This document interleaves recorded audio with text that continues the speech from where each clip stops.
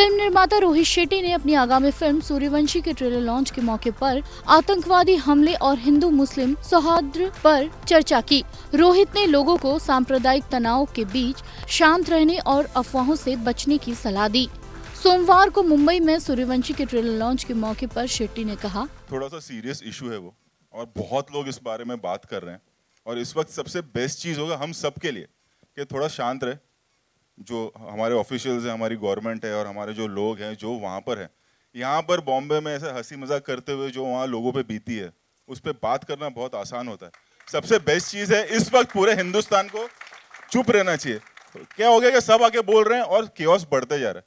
शांत रहेंगे, अपने आप होगा, वहाँ पर एक सीएम है, सब लोग हैं और वहाँ ग्राउंड रियलिटी पे जब जब कभी दंगा देखा है किसी ने आप लोगों में से, फटके हाथ में आ जाएगी।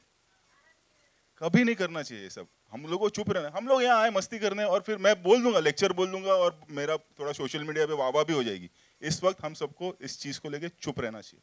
फ़िलहाल थोड़े दिनों के लिए। जिन पे जो बीत रही है, वो सब शॉर्ट हो जाए, फिर सब बोल सकते हैं। ट्रेलर लॉन्च के मौके पर फ़िल्म के मुख्य अभिनेता अक्षय कुमार, कैटरीना कैफ, करण जौहर, अभिनेता अजय देवगन, रणवीर सिंह भी मौजूद थे। अजय देवगन इस फ़िल्म में सिंघम के बाजीराव सिंघम और रणवीर सिंह सिम्बा के संग्राम भालेराव के रूप में कैमियो करते नज़र आएँगे। करण जौहर द्वारा निर्मित इस फ़िल्म में कैटरीना कैफ भी अहम किरदार में नज़र आएँगी। बता दें कि यह फ़िल्म 24 मार्च को सिनेमाघरों में रिलीज़ होगी। IANS report.